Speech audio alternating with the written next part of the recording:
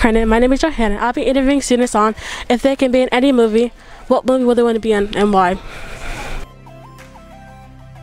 Today I'm here with. Rachel.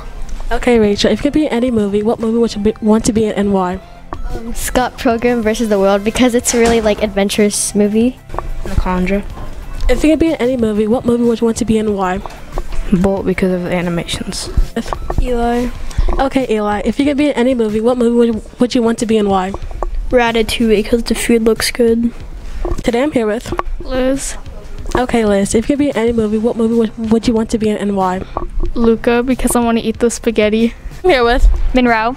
Okay, Monroe. If you could be in any movie, what would it be and why? Cinderella so I could marry a prince and have a lot of money. Okay, thank you. Audrey. Okay, Audrey. If you could be in any movie, what would it be and why? SpongeBob Christmas movie Why? because I want to do SpongeBob. I'm a reporter Johana, and thanks for watching.